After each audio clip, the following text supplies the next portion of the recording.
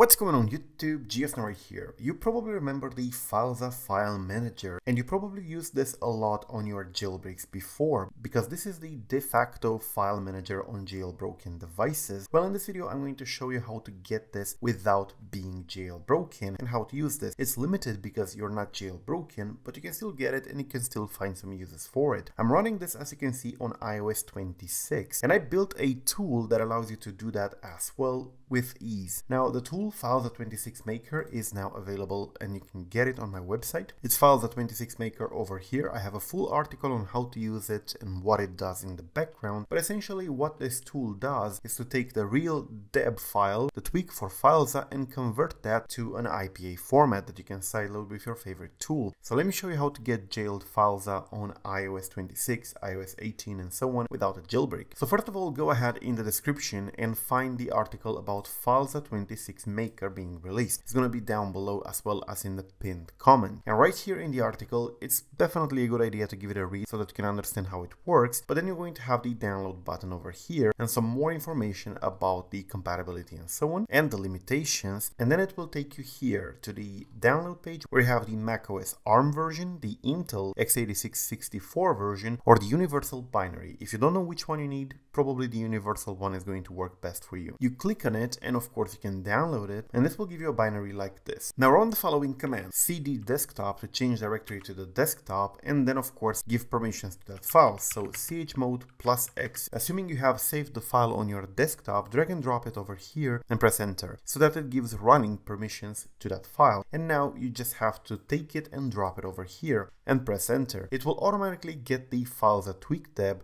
and it will create the IPA file for you so that you can sideload it. As you can see, this is the IPA file now and we can just go ahead and send this into for example sideloadly, which I'm going to do right now and we press start in here and have it installed on our device. So as you can see, it's doing it in there and on my device, it will actually install Filza, which I already had installed previously. So this is how you get it. Now the limitations, I discussed about them in the article. Since this is not using any sort of exploit, it's kind of like jailed Filza if you want to. So you can open it and many paths will not be accessible because they are sandboxed and we don't use a jailbreak or exploit for that. But some of them will be available and you will be able to open, for example, plist files that are available. You will be able to browse parts of the file system and this is pretty interesting and it's more for novelty factor and of course have files that to play around with the system rather than anything very useful because it's very limited by the sandbox and of course by the fact that you don't have a proper jailbreak. However, that's how you get Filza on iOS 26 and iOS 18, 17 without being jailbroken. Now if you don't want to use my tool, if you want to do this yourself, you can actually use the terminal yourself in order to do that. First of all, you're going to have to find the deb file for Filza, which is this one over here, and you can run the ar-x command and drag and drop this file, the deb file, and it will extract that file. And inside of it, you will get three files, control.tar.xz, data.tar.xz, or debian binary. What you're interested in is the data.tar.xz, double click to extract it, and inside you will have